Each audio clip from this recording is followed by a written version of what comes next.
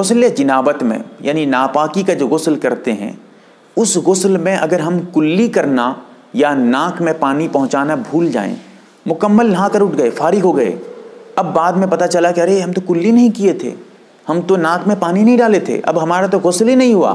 اور ایسا بھی ہو سکتا ہے کہ وہ آدمی جو ہے بالکل نماز بھی پڑھ چکا ہو، غسل وغیرہ کیا، جا کے نماز پڑھ لیا۔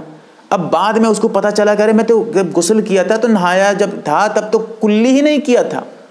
اب کیا حکم ہے اس کے لیے؟ مسئلہ کیا ہے؟ میں وضاحت کے ساتھ آپ کے سامنے رکھوں گا۔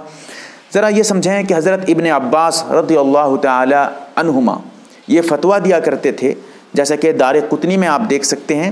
دار قطنی میں حدیث نمبر چار سو تیئیس ہے، الہ السنن میں جل نمبر ایک، صفحہ نمبر دو سو سات کھول کر دیکھیے گا۔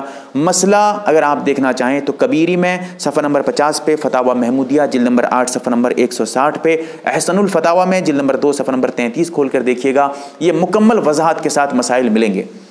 اگر آپ نے کلی نہیں کی ہے یا پھر ناک میں پانی نہیں ڈالا ہے، آپ غسل سے مکمل فارغ ہو گئے ہیں تو اب آپ کو دوبارہ غسل کرنے کی ضرورت نہیں ہے، لیکن اتنا ضروری ہے کہ آپ کلی کر لیں۔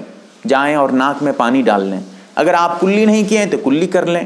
اگر آپ ناک میں پانی نہیں ڈالے ہیں تو ناک میں اچھی طرح سے پانی ڈال لیں بعد میں بھی تو آپ کا غسل مکمل ہو جائے گا۔ نہا کے اٹھ چکے ہیں تب بھی۔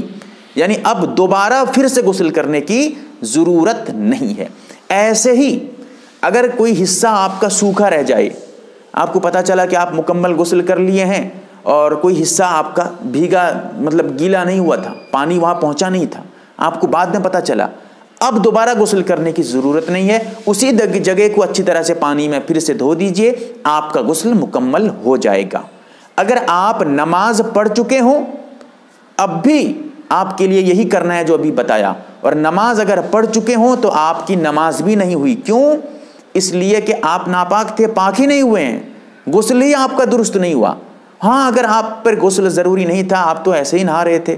تو پھر آپ پاک تھے تو آپ کا جو ہے بالکل نماز بھی درست ہو گئی۔ اگر آپ ناپاک تھے تو آپ پاک ہی نہیں ہوئے، کیونکہ غسل ہی آپ کا نہیں ہوا۔ جب آپ ناپاک ہیں تو آپ کی نماز ہی نہیں ہوئی۔